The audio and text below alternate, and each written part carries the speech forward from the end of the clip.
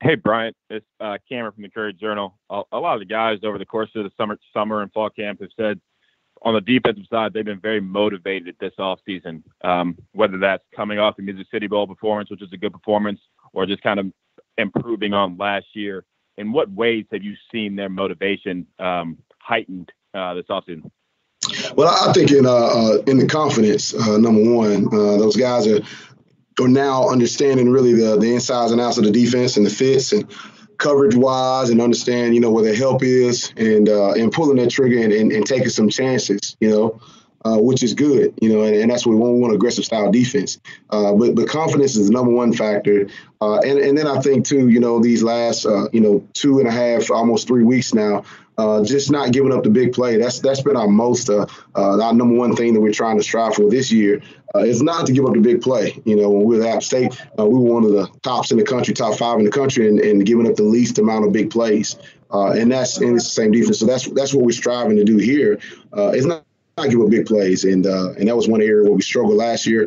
And, and I think right now, you know, these last three weeks, uh, we've done a really good job of not giving up the big play, uh, understanding our assignments, and playing fast. Uh, but confidence and, and having fun is uh, is one of the things that I see, as well as you know this this is a second year in the defense. So of course, you they they get a little bit better each and every year.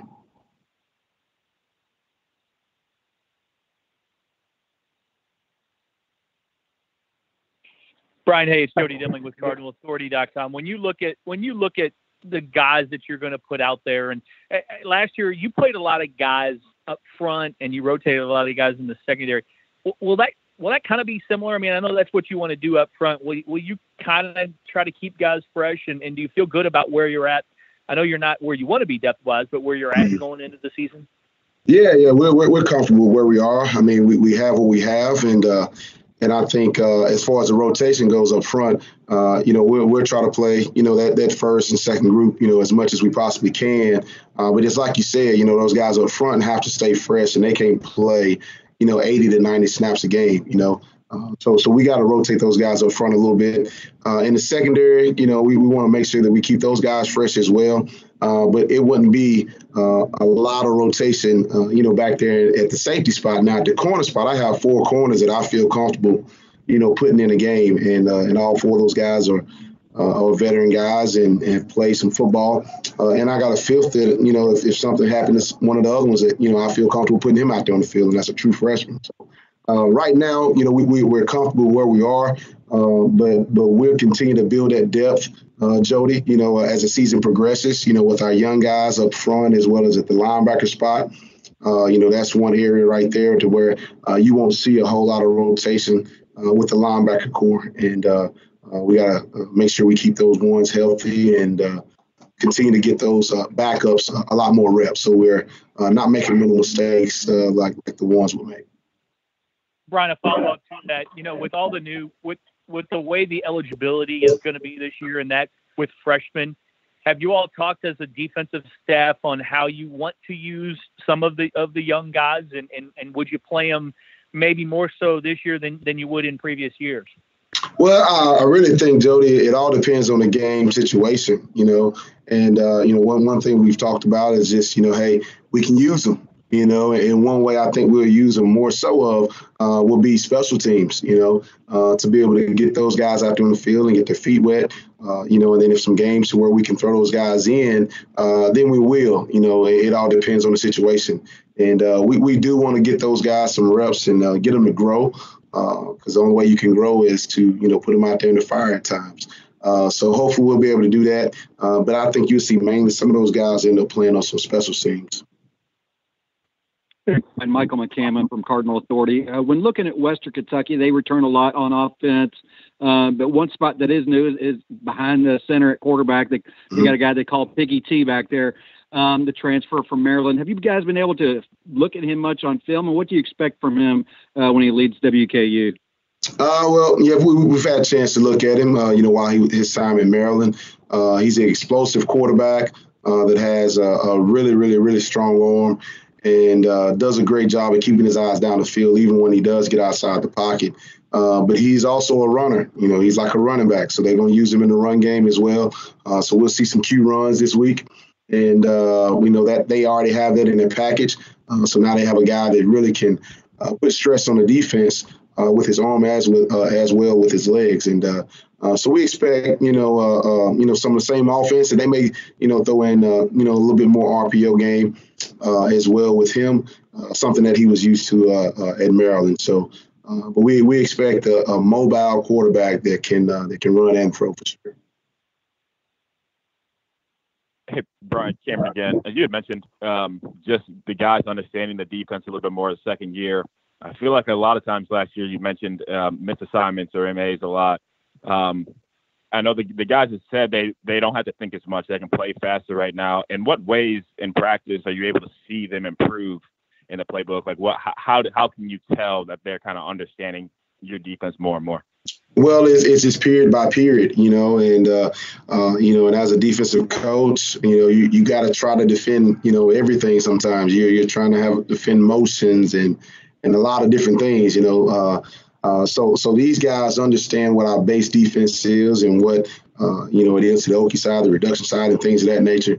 And they know the adjustments now, and they're able to play a little bit more faster. You know, I mean, going against our offense, I mean, it, it's a lot of motions, you know, it's a lot of different adjustments. And so if you're a young guy, you know, coming in and playing against Coach Satterfield's offense, your head get to spinning, you know, uh, look like you're doing the, uh, you know, the old bat and you got your head around and you're spinning around a little bit sometimes. So, uh, but, uh, but anyway, it's, uh, that's what I think. I think the guys just understand what we want, what our base is, uh, and where the fits uh, are supposed to be. So, uh, they're they're excited about playing this coming up Saturday, and, and we're excited about getting out there and, and showing the world what what we got this year. And Brian, I'll follow up to that. I know you guys didn't get them a lot for the full for the full spring and not the full summer, but Nick was mentioning Nick Kiki was mentioning you guys a lot a lot of time on Zoom and Teams calls watching film. Um, how important was that time this offseason and helping them understand the playbook and fix maybe errors that they may have done last year or in early early part of the spring? That was awesome. You know, I, I think one thing that, that, that, really helped us, to be honest, uh, Cameron, was, uh, you know, the bowl prep. You know, being able to have those extra bowl practices. Uh, I mean, that that helped out a whole lot. You know, and and the guys, you know, took from that bowl practice actually to the game, uh, and then from the game to spring ball. And those seven practices, you know, uh, it was a totally different, you know, football team as far as on the defense side of the ball uh, to where guys just flying around and, and understanding where that fits. Uh, then when you have you know COVID to hit, now you you're down eight practices. Uh, but we are able to get on Zoom calls and things of that nature, and had a good bit of walkthroughs this summer. Uh, you know, and that's one thing we're continuing to do is doing some more walkthroughs and uh, you know trying to help those guys just understand and slow the game down for them a little bit. And um, but the guys are buying in. Um, they're asking questions. That's what you want. Uh, you know, last year that that still they were just trying to find out. They're trying to learn on, on the fly.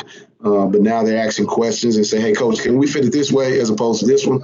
And now, now, now you know you're trying to get somewhere as a defense when they're asking questions and and making suggestions.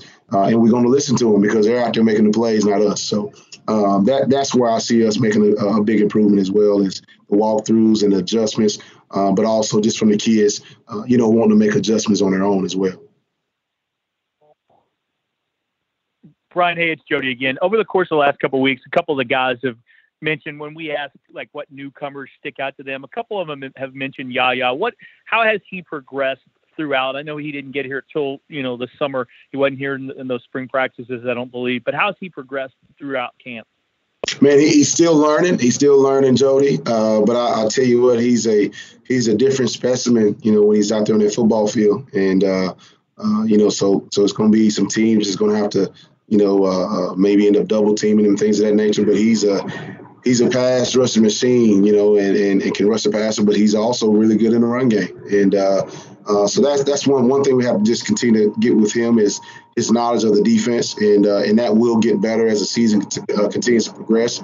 Uh, you know, so he hadn't been here that long, uh, so but we're going to try to keep it as simple as possible when Yaz in the game, and we'll be ready to roll. I think he'll be ready as well. He's excited, I tell you that. Coach, this is Matthew McGavic with Sports Illustrated. Uh, WKU has a pretty good running back in Walker. He was a 1,200 yard uh, rusher a season ago.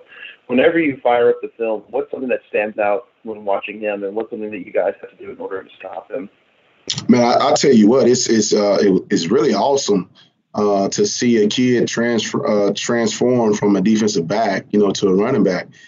He doesn't look like a defensive back, you know, and, and that kid is is uh, groomed himself into a really good running back, and uh, uh, to be able to see that, that's just really impressive to me uh, within itself and learning the offense. Uh, but he does a really good job of of getting downhill when he needs to get downhill. Uh, but he's shifty as well. He can stick a foot in the ground and get north and south really, really quickly. And um, you know, he's good in protections. Uh, but he's just, you know, he's an overall, he's a really good athlete, and and I think that's what has helped him become one of the best backs in in Conference USA. Brian Cameron again. That you mentioned the Music City Bowl, and if I remember right, I think that's probably one of you guys' best defensive performance. I think a guys, a lot of guys are just flying to the ball, especially that second half. You feel like this defense um, is similar, is right now is similar to that in the sense of like they're they're flying, kind of moving around without thinking so much. You think right now? I, I think so. I, I, think so, Cameron. I think they're, uh, uh, you know, uh, understanding, like we said, uh, of the defense, and, and, that allows those guys to play a whole lot faster. So when you know what to do and you're going in the right direction, that means you can play a whole lot faster as opposed to you're thinking, you know, oh, what's the check? Oh, what what is this? You know, and now you're a step behind, and that's when you know you miss a play here or there, or they bust a play here and there. Uh, so right now, I think the guys are flying around close to that. Um, you know, being able to uh, you know, start, you know, practicing with these guys in July uh, has helped for sure. Uh, so hopefully we'll be able to put that product on the field on Saturday. We'll take one more for Coach Brown. After after a game like that, Brian, do you feel like the team went into the offseason pretty motivated to build off that performance? Oh, absolutely, absolutely. You think about you know that performance at, uh, against Mississippi State. Uh, you think about the performance against uh, Virginia, uh, NC State. You know, uh, those games right there, that's we, we played some really really good defense at that time, and uh, that that's what we're looking for. And uh, and then of course the games that we didn't play so well, uh, they they want redemption for those games as well. They they know that they're better defense than what we showed uh, at times last year, uh, and the guys are excited and pumped and. ready to go and, and just hoping that we put the best product out there on that field on Saturday and the rest of the season. All right, great. We appreciate your time. Thank you. Have a good one.